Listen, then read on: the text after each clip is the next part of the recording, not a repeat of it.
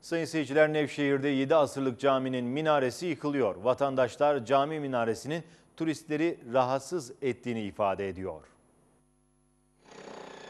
684 yıllık caminin minaresi işte böyle yıkılıyor.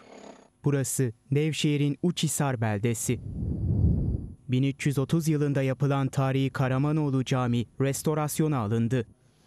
Çalışmalar kapsamında 7 asırlık caminin minaresi yıkılıyor. Yıkım için iki gerekçe öne sürülüyor. Halk arasında konuşulan ilk gerekçe beldeye gelen turistlerin minareden rahatsız olması.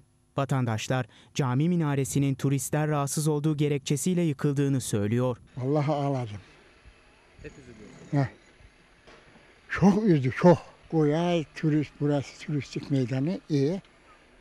Bunların ortadan kalkıp da bir şey çıkması ortaya mesela. Ben şu cahil kafamdan üzüldüm, ağladım. Da hala da acı duyuyorum. Valla biz çok üzülüyoruz bu Uçsallı olarak. Yani bu e, Karamanoğullarından Selçuklu'dan beri gelmiş olan bir camimiz bizim. Zaten tabelasında gördünüz miladi 1330 yazıyor. Yani çok acı bir durum. Bu etraftaki turizmci bazı işletmelere zarar verdiği, yani oraya gelen e, turistlerin e, rahatsız olduğundan dolayı falan yıkıldığını söylüyorlar. Yıkımın bir diğer gerekçesi ise minarenin depreme dayanıksız olması ancak bölge halkı bu gerekçeyi inandırıcı bulmuyor.